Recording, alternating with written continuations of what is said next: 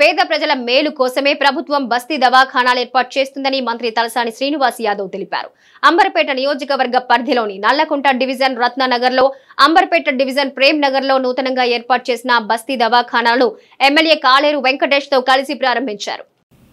పేద ప్రజల మేలు కోసమే ప్రభుత్వం బస్తీ దవాఖానా ఏర్పాటు చేస్తుందని మంత్రి తలసాని శ్రీనివాస్ యాదవ్ తెలిపారు. బుధవారం అంబర్పేట నియోజకవర్గ పరిధిలో నల్లకుంట డివిజన్ రత్ననగర్లో అంబర్పేట డివిజన్ ప్రేమ్ నగర్లో నూతనంగా ఏర్పాటు చేసిన బస్తీ దవాఖానాలను ఎమ్మెల్యే కాళేరు వెంకటేష్తో కలిసి ప్రారంభించారు.